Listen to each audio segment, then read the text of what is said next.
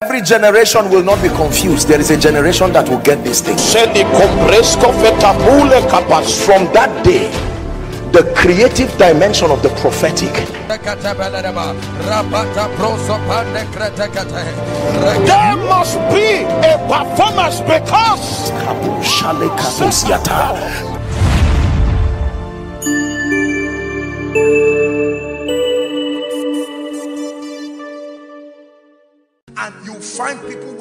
levels of zeal as though if in one week God does not anoint them they would destroy the whole world. 10 years later you will see some of those people they are not even born again. Ah, you stumble across a brother who was on fire when he was on campus. What suddenly happened? If you are fearful and you do not have the staying power you can go back. Can I tell you this? In this journey of thy kingdom come in this end time God is not forcing men. There are men who will actually say I am satisfied being born again. I don't want to be useful. The Bible calls them vessels of wood and of clay. They are all in the house. But in a great house there are categories of vessels. All of them are called vessels but there are some that are unto honor. There are some that are unto dishonor. These are the vessels unto dishonor. If you feel you are tired of ministry after four years of seeming lack of results and you no longer can stand upon the confidence of what you heard go back home. Go back home does not mean you backslided. Go back home means God can replace you with someone else. Can I tell you this? I assure you that in this end time there will be replacements. There will be replacements. There are people who out of their volition will come and say lord you know what i am tired. I've given you what i think is my best but this christianity thing is not going anywhere. I remain satisfied that at least i will make heaven. But as far as being at the center of your program is concerned i am not interested and god will respect their will. So don't be surprised that you can see people on fire today being used mightily by god and tomorrow you'll find out that it looks like that fire has gone down. They are still Christians, but they were part of that 22,000. But if you truly came for this conference, you must obtain grace from God to pass that test. And Lord, I'm not going anywhere. How be here, bowing down all of the days of my life I'll be here bowing down all of the days of my life? I'll be here serving you all of the days of my life? I'll be here serving you all of the days of my life that I'll be worshiping. All of the days of my life I'll be worshiping. All of the days of my life that I'll be here loving you.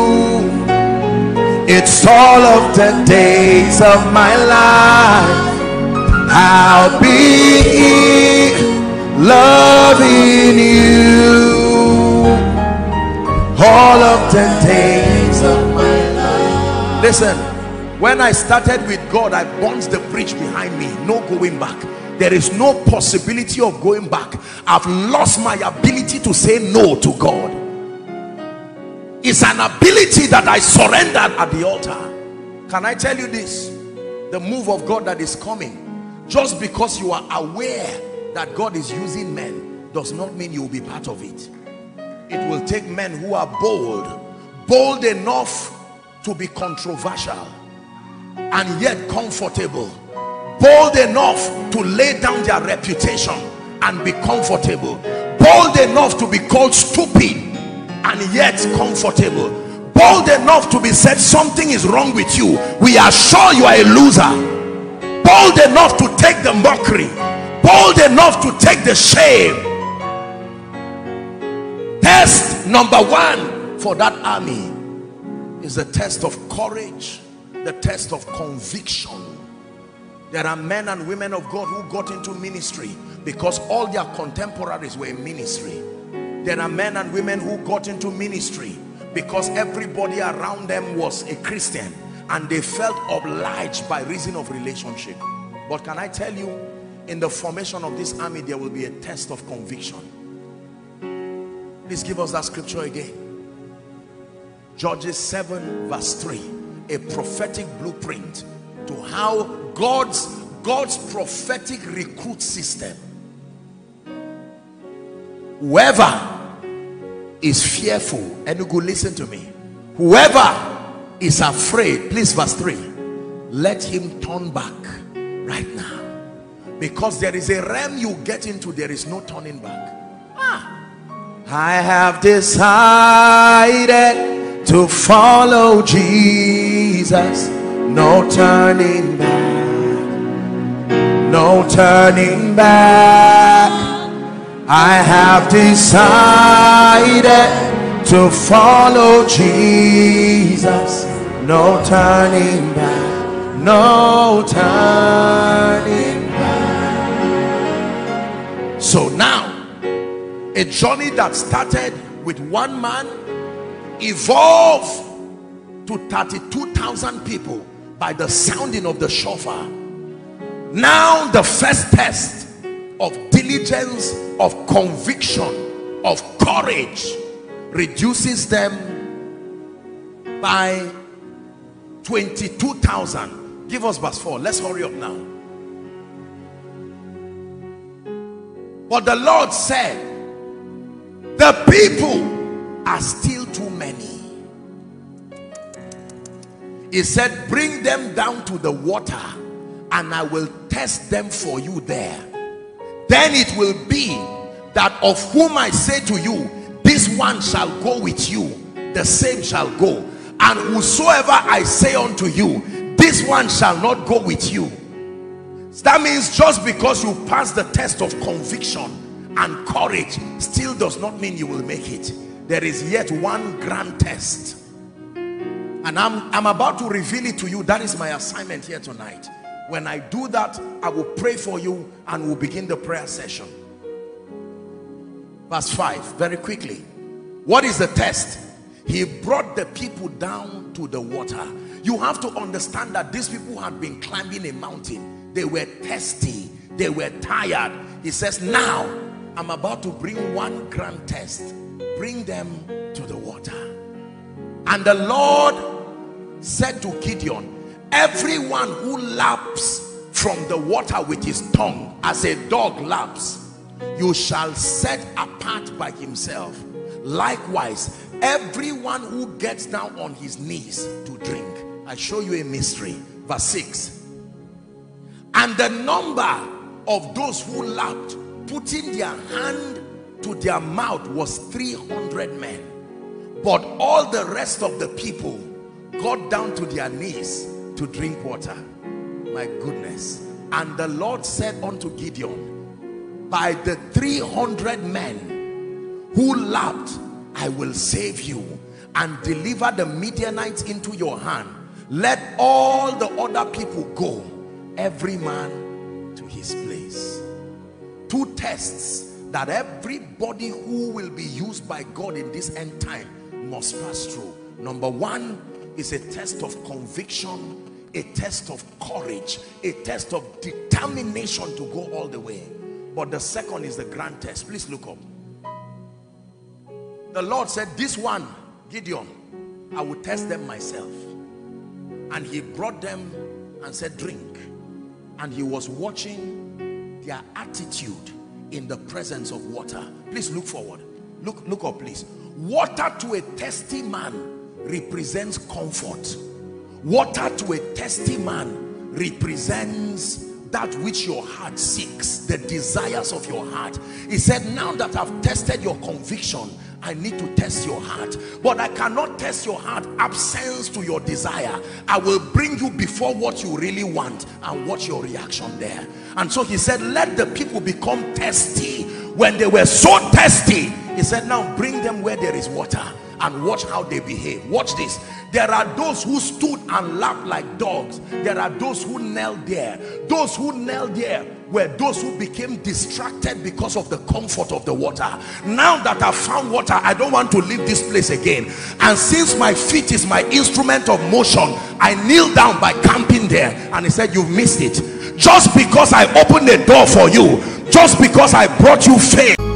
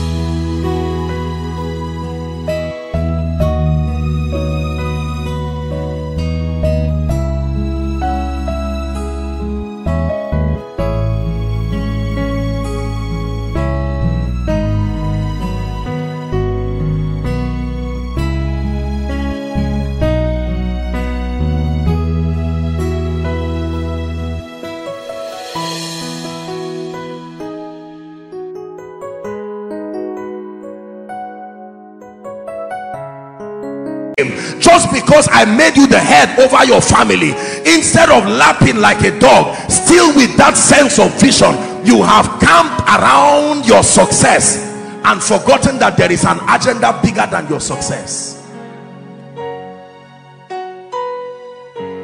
Rash kanima lakatosia Brakato lakatoske brendege baratia.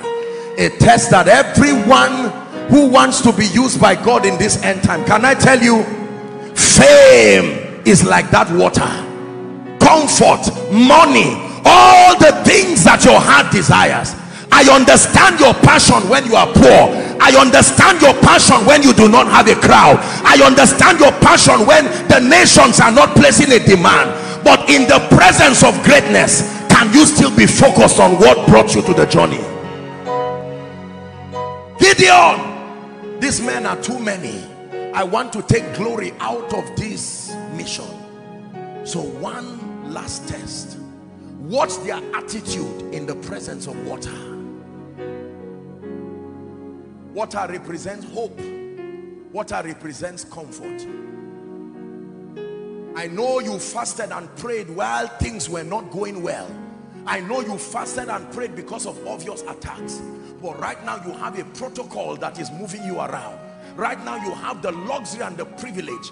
Every system and every structure has accredited you. Can I tell you this? Look at me. I came here with a prophetic message. Do not fail the test that made only one percent of the people who started that journey. Only one percent or less than that. Out of 32,000 people ladies and gentlemen it's hard to be used by God oh. Don't let anyone deceive you. Being available is only step one. You must be usable. There is a screening that God himself the way he screens you is not to say my son give me your yêu đâu cứ phải muốn là quên được ngay còn thương em nên anh đau lòng lắm sao anh cũng chẳng thể đổi thay một cuộc sống không em, anh phải làm sao đây? Tự thương lấy mình thôi, đớn đau, nhiều rồi. Tự mình vô về thôi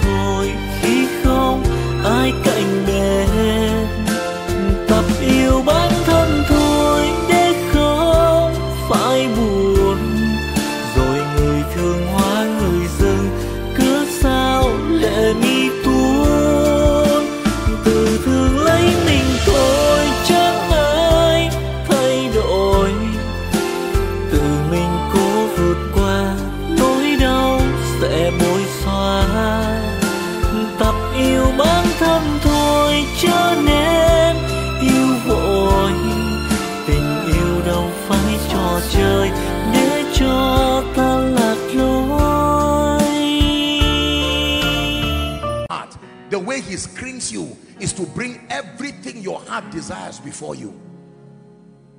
And says let me see your attitude.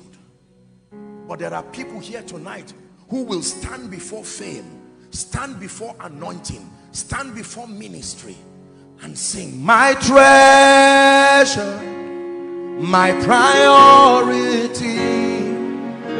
Who can compare to you? Truly great is the measure of your royalty. Oh morning star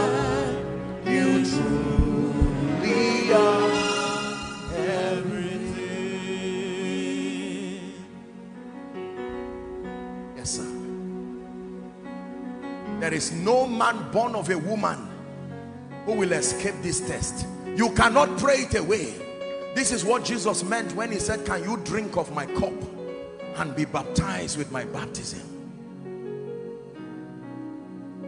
There are many people in our generation who see God using many people mightily and think they are just lucky. They just loved God. No, sir. There is no luck in this thing. The price for life is death the price for all of God is all of you.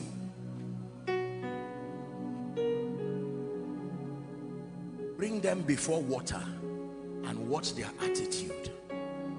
For those who stand to just lap like a dog they are saying lord thank you for the prosperity but i can't camp here because i'm i i was going somewhere before i met prosperity. The journey was not prosperity. I was going somewhere before i met fame the goal was not fame i was going somewhere before i met the anointing. The goal was not the anointing. So not fame not the anointing would distract me. I remain focused. And he said gideon find those men. Watch them. It takes time to find those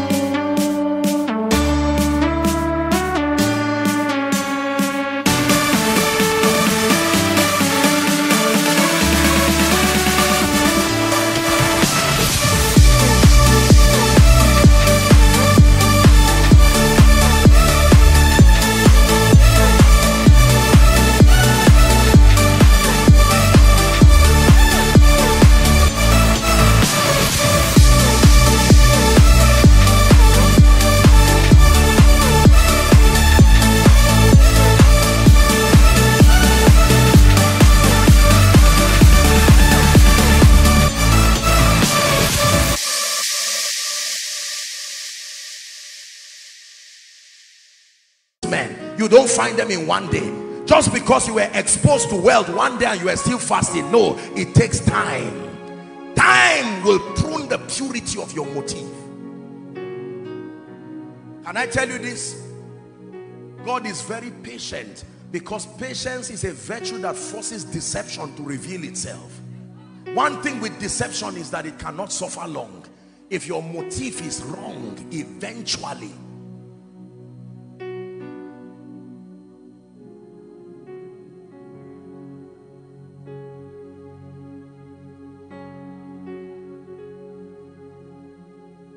there is a cost of followership. Let's round up. Luke chapter 9 from verse 56 hmm. Luke chapter 9 please give it to us quickly media. Luke chapter 9 from verse 56 for the son of man did not come to destroy men's lives but to save them. And they went to another village the bible says. We're reading to the last verse now it happened as they sojourned on the road that someone said to him lord i will follow you wherever you go. Here was the response of jesus. Foxes have holes. Do you know what that means? They have where they camp and don't go anywhere again. Birds of the air have nests. When they find nests they don't go any other place that means out of this crowd in this conference if we are to walk based on that ratio please my prayer is that let me be wrong in that ratio. That let it not be that only about one percent of the people listening to me now will pass this second test. It is God's desire to use everyone who is available but there is a test. Followership comes with a cost. With the 300 men plus Gideon God brought victory for himself. Now I want to pray for you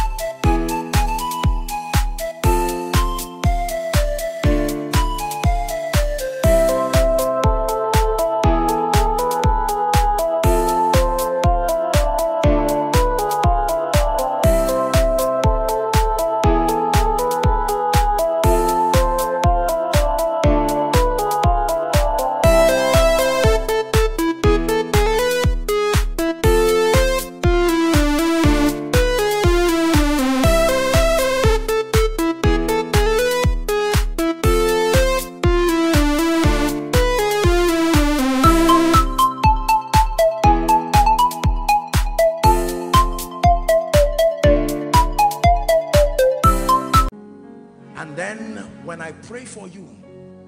We're going to get into a prayer session for the next 40 minutes. Lord prepare me. Sanctuary. Pure and holy. Tried and true. With thanksgiving I'll be a living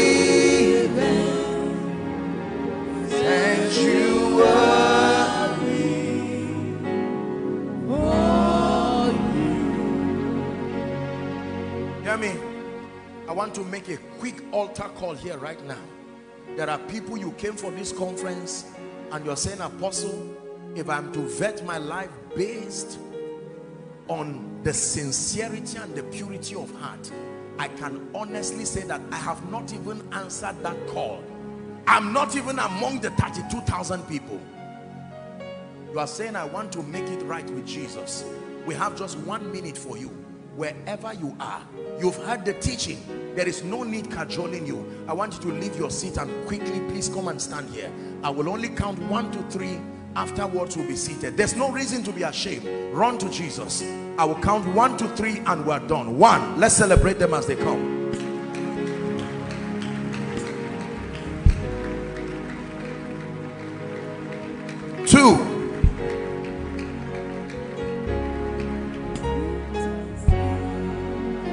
That you are coming to Jesus to say I discern what you are doing oh God and I don't want to waste my life living a purposeless visionless life. I am ready for Jesus. Hallelujah. Please lift your right hand all of you here. I appreciate you for the boldness and the courage to come to Jesus. It is never too late for as long as you are alive to make it right with Jesus. And I don't want you to do what you're doing just emotionally let it be from the depth of your heart. If you're coming run quickly and come and join them. Say this prayer after me. Let it be from the depth of your heart. Say Lord Jesus. One more time. Say Lord Jesus I believe in you that you are the son of God. Tonight like Gideon and the other men of the armies I've heard that trumpet and I have come to you. Take me mold me use me for your glory. I declare based on the authority of the word of God that I have the life of God. I receive you as savior Lord and King. I declare that I go forward ever and backward never. I am a child of God. Amen. Keep your hands lifted. Father thank you for these precious ones. They have come to you responding to that call. You are giving them a new beginning. And lord i pray based on the authority of scripture that everything that represents the power of sin satan hell and the grave let it be broken over their life. In the name of jesus i declare you recipients of eternal life and I pray that the Lord himself will take you from glory to glory. In Jesus name I pray. Amen and amen. God bless you. Do they return to their seats or are they counselors? Okay now here's what I want you to do for me. They are counselors and I want you to just follow them